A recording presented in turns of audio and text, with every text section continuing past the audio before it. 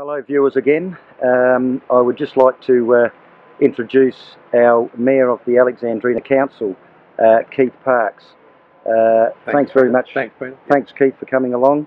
And we're just going to be mentioning uh, about the right to take water levy again on our farms. And Keith, um, you know, congratulations on your appointment and uh, the community really appreciates the way that, uh, you know, you listen, you come and talk to everybody uh, and you've got a very good rapport with the everyday person, which is really much appreciated. But look, do you mind if I just ask you, what's your view on this right to take water levy, being charged for water that falls freely from the sky onto our farms? Well, I, I, my position is that you know that, that the water that lands on a person's property uh, is their water. Um, it, I mean, they're not they're not diverting it all and keeping it and preventing their neighbour from having some of it. I mean, that's it's on their land, it's their water, they shouldn't be charged for it. I mean, we live in a region um, where primary production is our biggest source of income. We live in a region which we produce the best primary produce in the in Australia, if not the world. It's pristine. Yes. Now, this is like a this is like a tax on producing quality product. We're going to restrict our farmers from from supplying the most important commodity we've got, which is food. Exactly, and uh, we all know it's a critical need. We can't do without it. Uh, and not only that, Keith, you know, the cost, what, what's, what's the cost that's going to be added to production? Uh, and I mean, people are doing it hard now. Uh, they can't afford an extra cost on food. No, it's just make, it'll just make food, uh, number one, more expensive. Uh, it puts farmers, and we all know how hard life is on, uh, a, for a farmer running, trying to run a property and be sustainable and make a dollar. Um, and, and that's what the investment's all about. That's why they're doing it, and they're producing quality products. They're they're really enhancing the community and, and where we live.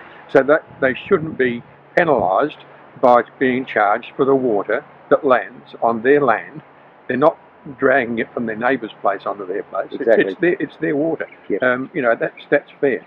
Well, I, I, think you made some very good points there, and uh, you mentioned about the community. I mean, if if the farmer's not doing well, we've got less money to spend in businesses in town and, and uh, just so our viewers know, Strathalbyn where we are at the moment, we're alongside the Angas River here at the Soldiers Memorial Reserve in Strathalbyn and our population here is about five and a half thousand.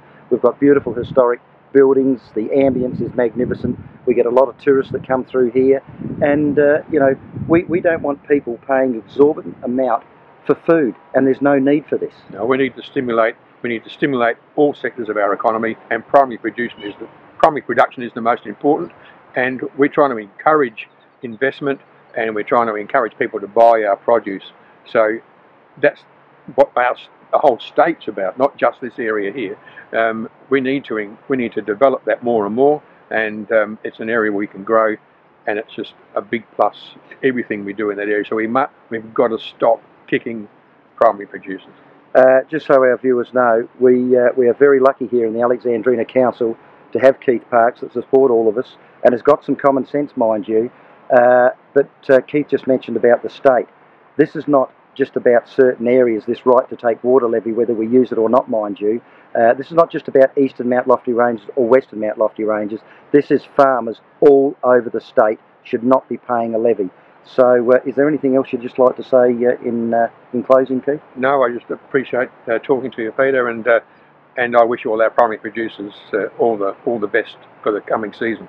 Thank you very much for your support.